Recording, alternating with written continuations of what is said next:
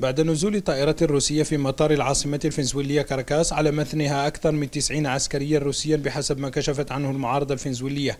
تجدد صراع داخلي وخارجي بين المعارضة الفنزويلية والأغلبية الحكومية.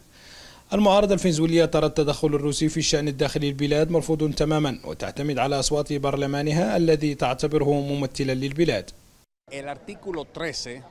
تنص المادة الثالثة عشرة من دستور بلدنا على أن فنزويلا هي أرض سلام وأن أي قاعدة عسكرية أو منشأة عسكرية أجنبية في فنزويلا محظورة لأننا لسنا دولة تشجع أي نوع من الأعمال العسكرية. الأغلبية الحكومية الفنزويلية بدورها والتي يقودها نيكولاس مادورو تعتبر أن التحالف الفنزويلي الروسي تحالف تاريخي وشرعي ولا يمكن أن يخضع لأي نقاش. لهذا السبب نحن مندهشون اليوم لرؤية هذا الشكل من التصعيد الأمريكي في أمريكا اللاتينية.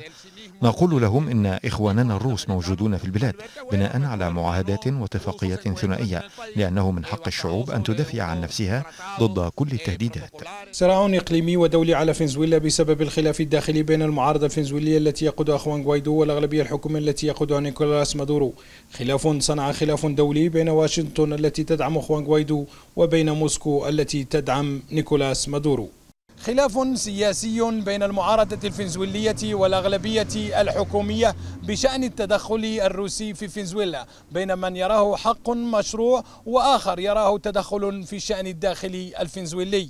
محمد الفنيش قناة الغد من أمام السفارة الروسية في فنزويلا.